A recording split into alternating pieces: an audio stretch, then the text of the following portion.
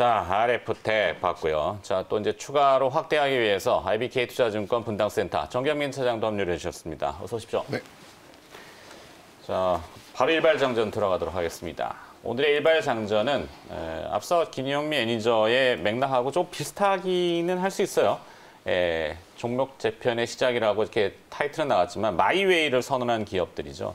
그러니까 내가 갈길 가겠다라는 겁니다. 네. 어, 저희가 오늘 해야 되는 소명은 해외의 변동성과 우리는 조금 분리를 시킬 필요가 있지 않나.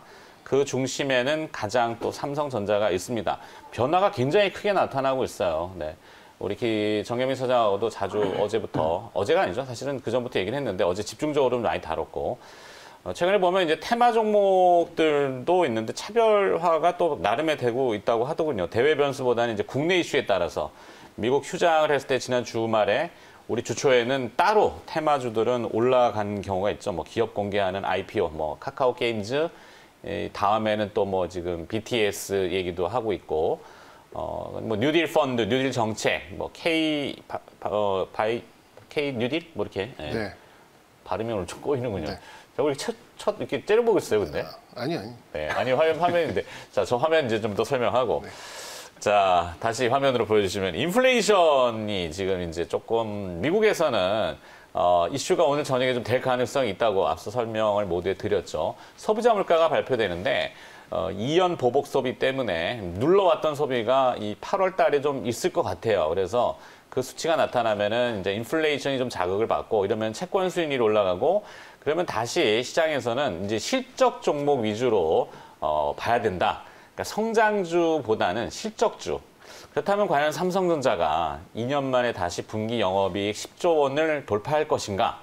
물음표를 정해놨습니다만 사실 제 개인적으로는 충분히 느낌표로 바뀔 거다 이렇게 보고 있습니다.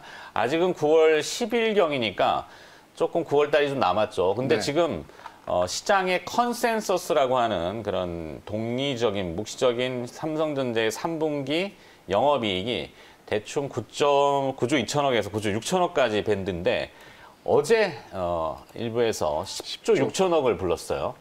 어, 저는 11조까지도 한번 좀 불러보고 싶은 뭐 서로 경쟁하는 건 아니지만 네. 경매 자, 그래서 사실 실체가 있는 알맹이의 기업을 뭐 선정해 봤는데, 어, 일단 조금 먼저 얘기 잠깐 네. 하고 기업으로 들어갈까요? 네, 네, 네, 그렇게 그럽시다. 김- 정경민 차장의 생각은 어때요? 어, 뭐 지금 미국장에서는 필라델피아 반도체 지수가 거세게 조정을 받고 있죠. 근데 아, 우리나라만 놓고 봤을 때는 SK 하이닉스, 삼성전자 반등세가 나쁘지 않았고 또 뭐 애플의 필라델피아, 반- 아, 죄송해요, 말 끊어서. 네. 바- 필라델피아 반도체 지수는 이제 뭐 우리 김명민 매니저도 그렇죠. 오프닝 때 항상 점검을 하는데 그 지수가 막 그 과열을 뿜고 뭐 역사적인 신고가를 경신할 때 국내 뭐 삼성전자 하이닉스가 같이 동반했던 건 아니거든요. 그렇죠. 물론 참고할 만한 지표이긴 한데. 네. 네. 그게 지금 포인트입니다. 네, 아우, 그렇죠. 좋아요. decoupling이 좀 되고 있다라는 점이고 네. 어, 미국에서의 뭐 약간의 이제 고점 논란이 좀 있습니다만 우리나라랑 또 별개로 어제 삼성전자만 보더라도 어, 삼성전자를 콕 집어서 사는 이제 그런 흐름이 좀 나왔었잖아요. 그러면 뭐 필라델피아 반도체 지수와 직접 연관이 없는 다른 곳에서 뭔가 이 매수의 포인트, 어떤 어, 실적 개선의 포인트를 찾고 있지 않나라는 생각이 드는데 그 포인트는 지금 어, 다 눈에 보입니다. 어차피 이제 화, 어, 화웨이 때문에 이제 막혀 있는 것들을 좀 빼고 난다면 역시 이제 비메모리 쪽이고 5G 쪽이고 이런 그리고 어, 거기에 플러스 애플하고 관련돼서 이제 삼성 어, 모바일 디스플레이 그러니까 이제 애플의 뭐 내년부터 이제 삼성이 또 OLED 패널을 공급하게 될 가능성이 좀 어, 있으니까요. 이런 것들로 지금 어, 한국 시장을 좀 바라보고 있기 때문에 어, 지금 뭐 필라델피아 반도체 지수와의 어떤 디커플링 현상이 우리나라에서 좀 강하게 나오지 않나라는 생각이 좀 들어요. 근데 이제 부품주들 같은 경우는 오늘 자화전자를 아까 말씀하셨나요? 안 했습니다. 안 하셨나요? 아, 그렇게 노출해 버리면 아, 어떻게 예. 해요? 스포일러예요? 죄송합니다. 근데 이제 이런 그 휴대폰 부품주들은 제가 우리가 이제 뭐 MC넥스나 이런 것들을 소개해 드리면서 한 한 달 한 달 반 전에 좀 말씀을 드렸는데 그 뒤에 그 뒤에 좀 아, 있네요. 했잖아요. 예. 관련주는 아니고 예, 지금 좀 순서가 좀 뒤죽박죽이 네. 되는데 어, 뭐 결국에는 정현민 차장의 포인트나 제가 보는 포인트 그다음에 김영민 매니저도 사실 시장을 계속 들여다보는 사람들은 이제 불, 분리했는 그런 어, 뭔가 차별화에 대해서 얘기를 하는데 실적을 기준으로 하는 거죠. 그러니까 삼성전자의 3분기 영업이익은 반도체가 대략 한 제가 봤을 때 6조 이상. 그다음에 이제 모바일 사업부가 문적인데 3조 5천억에 4조를 받다가 이게 더 높을 것 같아요. 그러면은 모바일 향 지금 뭐 RF 아, 레이브가 아니라 그 뭐죠? 그 안테나도 그렇고 네네. 어, 여러 가지도 있지만 어, 아유, 말이 좀 꼬였네. 하여튼 이 카메라 모듈 쪽 그쪽도 지금 굉장히 잘 돼요. 그러니까 자화전자는 사실 카메라 모듈에 이제 액추에이터도 있지만 저 PTC 히터라는 게 굉장히 주목을 받는 거죠. 수소차와 전기차에 무조건 써야 됩니다. 그죠? 이 내연기관이 아니기 때문에 전기로 동력을 하는 것들은 단독적인 열을 내는 그 기관이 P- PTS 히터고 객단가가 아마 100달러 정도 될 거예요. 근데 지금 캐파 시설이 한 150만 개까지도 찍어내는데 그렇다면은 얼추 봤을 때 1,500억, 마진율 25에서 30% 보면은 한 400억 가량은 이기 얹힌단 말이죠. 네, 그럼 뭐 저 안 볼 필요 없는 거죠. 거기에 이제 제 짱돌을 던진다면, 네. 그러니까 이뭐 부품 파장을 또. 부품주들은 제가 그 한 달 두 달 전에 이제 말씀드렸던 게 이제 제철 주식이라는 제목을 달고 음. 약간의 이제 한시적인 말씀을 좀 드렸어요. 그게, 그게 이제 아, 시장 부품주의 어떤 숙명과도 같습니다. 그러니까 네. 뭐 다른 종목들과 같이 이렇게 꾸준하게 우상향을 보인다 보다 보인다기보다는 어떤 이슈와 일정적인 호재를 앞두고 아, 급등을 했다가 약간의 조정을 보이고 또 급등을 했다가 조정을 보이고 이런 이제 양상이 좀 나오는데 어제 우리 코스닥 시장을 놓고 보면 애플과 관련된 이제 이 부품 부품주들 이쪽에서 이제 강세가 나왔기 때문에 그 전에는 이제 갤럭시 모델에 어떻게 스펙이 들어가느냐 이것 때문에 좀 강세를 보였다면 지금은 이제 애플에 그 들어가는 어 이제 스펙 그 관련된 그런 종목들이 좀 편승하는 이제 그런 상황이다 보니 어 제철 주식 버전 2 시즌 2 이렇게 좀 볼 수가 있겠네요. 그래서 어 물론 이제 저런 그리고 이 PTC 히터도 온대 기후, 냉대 기후에 한해서 이제 필요한 거죠. 뭐 날 더운 나라에는 필요 없는 거죠. 그렇구나. 에어컨이 필요하죠. 예, 근데 네. 이제 히터는 어쨌든 다 조금씩은 들어가야 되는 부분 뭐 있긴 쓰이니까. 있습니다. 뭐. 있긴 네. 있습니다만 어쨌든 부품주는 일단 너무 긴 호흡보다는 음. 좀 짧게 가자라는 말씀을 좀 드리고 싶고 어제 이제 코스닥에서 그런 힌트를 줬기 때문에 네. 어, 저는 이제 뭐 실적 부분도 있다 제가 또 준비한 내용도 있기 때문에 그건 좀 아껴 놓도록 하겠고 일단 부품주들은 짧게 보자. 어, 그리고 한 아, 일주일 정도. 보자. 이렇게 예, 그렇게 말씀을 좀 드리고 스포일러 싶습니다. 경쟁을 지금 하고 계신 것 같은데 네. 저도 이제 삼성전자 얘기를. 조금 이제 덧붙여 좀 드리고 싶은데 말씀해주셨던 것처럼 제가 사실 지난 2분기에 earning surprise가 나왔잖아요. 음. 네. 그때 사실 삼성전자의 영업이익을 소위 말해서 이제 좀 폄훼하는 시각들이 되게 많았어요. 그렇죠. 일시적인 뭐 때문에 실물 경기를 언뜻 봐도 네. 와 큰일 났겠구나 했는데 그렇죠. 의외로 문을 열어보니까 잘 됐단 말이죠. 네. 그죠? 2분기 실적이 잘 나왔는데 그럼에도 불구하고 뭐 1조 원 이상은 또 애플의 보상금 쪽으로 이제 받은 일시적인 또 영업이익이었고 이게 3분기까지 지속될 수 있느냐 이런 얘기들을 사실 많이 했거든요.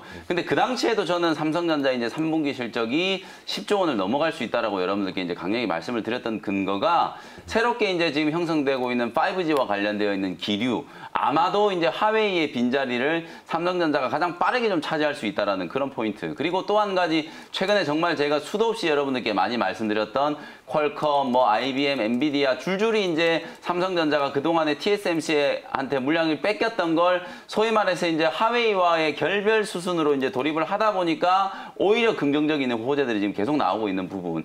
앞으로 이제 이 어떤 성장성, 단순히 이제 이익의 규모보다는 삼성전자도 이제 성장성에 대한 얘기를 할 수 있는 그런 기업이 된 거예요.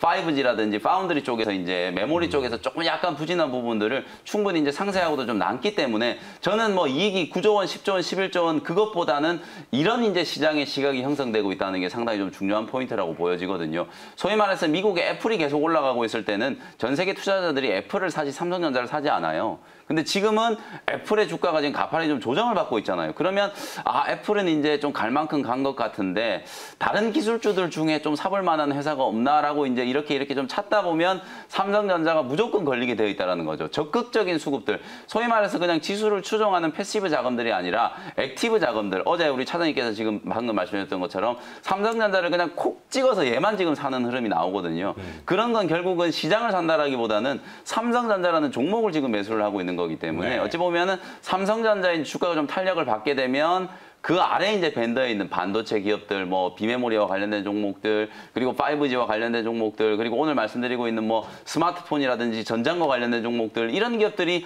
동반해서 같이 삼성전자에서 사이클의 수혜를 또 받을 수밖에 없는 그런 상황이기 때문에 오늘 계속 말씀드리지만 미국 시장과의 디커플링, 그 디커플링 과정에서 삼성전자가 차지하는 의미가 상당히 좀 크다라는 부분들을 좀 기억을 해보시면 좋겠습니다. 그래요. 사실 삼성전자가 시장 지표 종목이기 때문에 많이들 얘기하지만 여기에 또 집중되거나 시세가 이쪽으로 몰리면은 개별 기업들은 조금 가라앉거나 네. 그래서 이제 아까 이제 차별화에 대한 이야기 테마가 그동안은 시장을 뭔가 조금 활성화시키는 그런 역할을 했는데 이제 테마주가 조금 이렇게 내려갈 수 있는 네, 네. 그런 거 가능성도 있잖아요. 가능성이 그래서 있죠. 뭐 삼성전자의 수급이 몰려버리면 음. 아무래도 이제 시장의 시각이 무작정 이제 어떤 성장주만 바라볼 수는 없는 거고 이제 네. 성장성을 가지고 있는 가치주 쪽으로 눈을 틀어버릴 경우에는 시장 분위기가 확 바뀔 수 있는 거고요. 음. 결정적으로 봤을 때는 이제 어, 어제 어제 그저께부터 계속 나오고 있는 TSMC의 상향 레포트를 보면 네. 역시 이제 비메모리 쪽의 확장, 그러니까 다품종 소생산의 확장을 계속해서 얘기를 하고 있으면서 뭐 그러면 삼성전자는 지금 비메모리 계속해서 좀 어, 확장을 좀 하고 있는 상황이라면은 계속해서 수주를 받을 가능성이 높아지고 있잖아요. 그러면 그 관련돼서 이제 역시 후공정 그리고 어, 5G 칩 관련돼서 과- 관련된 종목들이 동반할 가능성이 좀 있기 때문에 삼성전자가 예전 처럼 혼자만 가는 그런 현상은 약간 이제 시장 거래에 있어서의 나온 이제 일부 이제 특정으로 좀 볼 수 있겠지만 이렇게 삼성전자를 콕 집어서 가는 이런 시장에서는 의외로 이제 같이 동반할 수 있는 종목들도 어, 예전과는 다르게 많이 나올 수 있다라는 게 이렇게 좀 논리적으로 말씀드릴 수 그래요. 있습니다. 하여튼 뭐 삼성전자는 품목들이 여러 개 있는데 이제 반도체만 있는 것이 아니라 사실 이 가전 사업부가 굉장히 빠르게 올라온 것 같아요. 네. LG전자의 실적도 네. 지금 컨- 올라가듯이 어, TV 그러니까 재택 집에 머무는 시간이 늘면서 가전 교체 수요 거기에 이제 모바일과 타블렛의 교체 수요 노트북 PC의 교체 수요 이게 굉장히 많았던 것 같고 그게 실적으로 연관되는 것 같은데 자 기업을 좀 정리합시다. 그래서 저는 뭐 자화전자라는 기업을 좀 보고 있고 그러면 뭐 추가를 하실 만한 저기에다가 어, 저는 DB하이텍 DB 하이텍 좀 떠오릅니다. 네, 예, 그러면은 문득 떠올랐어요. 자화전자의 내용을 뒤로 지우고 네.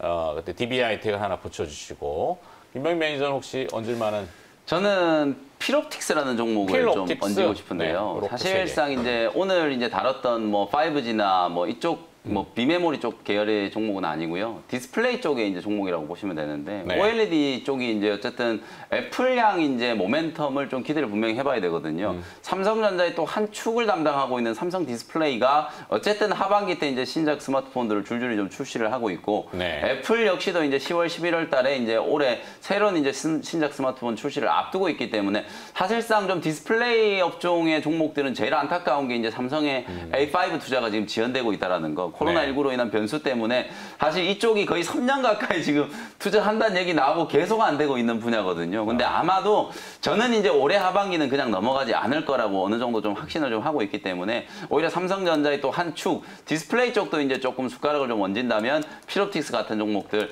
이오테크닉스하고 필옵틱스가 거의 비슷하게 좀 레이저 장비 쪽을 만드는 기업이기 때문에 OLED 쪽에서는 또 핵심적인 기술력이 있고 또 필옵틱스는 디스플레이 쪽뿐만 아니라 또 약간 이제 하이브리드라고 생각하시면 되는데 헝가리에 이제 나가 있는 필옵틱스의 자회사 이제 필 에너지가 삼성 SDI로부터 벌써 이제 상반기에만 천억이 넘는 이제 2차 전지 제조 장비 이제 notching 장비를 벌써 이제 만들어 주고 있거든요. 거의 네. 독점적으로 이제 삼성 SDI에 납품을 하고 있기 때문에 영업 이익률이 최소한 10에서 12% 정도 좀 나와 준다면 여기서만 지금 올해 거의 한 150억 이상 이제 영업 이익이 기대되고 있는 상황이기 때문에 음. 뭐 그런 부분들을 감안한다면 필옵틱스도 삼성 계열의 이제 종목으로서 같이 한번 관심을 좀 가져볼 필요가 있다. 이렇게 말씀을 좀 네. 그러네요. 드리겠습니다. 예. 자, 필옵틱스 얘기했고 DB 하이텍은 김영민 매니저도 엄- 한번 네, 하셨던 기업이기 때문에 DB 하이텍도 소개를 뭐 해드렸었어요. 추가로 딱히 네. 하실 내용이 없으면 보내드릴까요? 네네.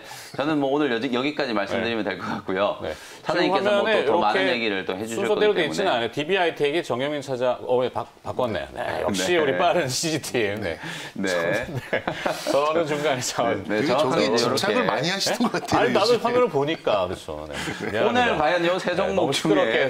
뭐가 제일 많이 올라가는지를 좀 보고 뭐 꼴찌 하시는 그런 분이 경쟁은 아닌데 다음 이상하게 하다 주에, 보니까 저렇게 됐네요. 다음 주에 네. 커피를 쏘는 걸로 뭐 아, 그렇게 뭐 어디다가. 좋습니다. 시청자분들한테 다 써요. 아니 아니요 뭐 저희끼리만 화살하실 뭐. 저희끼리만 네 그렇게 네. 하면 좋을 것 같다는 생각을 좀 해보고요. 알겠습니다. 어쨌든 네. 오늘 뭐 미국장은 좀 조정을 좀 받았지만 네. 뭐 이렇게 기분 좋게 좀 시장 출발을 좀 준비를 하시면 당연하죠. 음. 좋겠다라는 말씀을 좀 드리면서 오늘 저는 이제 따로 이벤트는 없으니까요. 다음 주에 저는 또 더 새로운 종목도 더 참신한 내용으로 음. 종목 키워드 시간에 다시 인사드리도록 하겠습니다. 알겠습니다. 김영민 매니저였습니다. 고맙습니다. 감사합니다. 네. 정경민 차장은 저 이제 DB 하이텍 풀어줘야 될 거 아, 아니에요. DB하이텍 아 이게 어, 그 스포를 하셨기 때문에 네. 그냥 저는 원래 아나패스예요. 저도 이제 아나패스인데. 뭐 스포일러 했다고 또 삐졌어요. DB하이텍은 뭐 다들 아실 것 같아요. 뭐 이제 그 가전 말씀을 하셨잖아요. 음. 이제 거기에 들어가는 마이크로 컴퓨터, 뭐 소위 말하는 파운드리죠. 네. 그게 이제 센서예요. 그러니까 그 여러 가지 센서들. 그렇죠. 여러 가지 센서인데 되게 단순한 것도 있고 음. 그 스스로 이제 말, 말하자면 마이크로 컴퓨터라는 얘기가 그 스스로 뭔가를 판단을 할 수 있는 이제 그런 동작하는 센서를 볼수뭐 있는데 칩들 그렇죠. 뭐 어. 하다못해 그 우리 자동문도 센서잖아요. 딱 그렇게좀 단순한 것부터 시작을 해서 여러 가지 이제 센서 관련된 그런 이제 파운드리를 좀 하고 있는데 좀 네.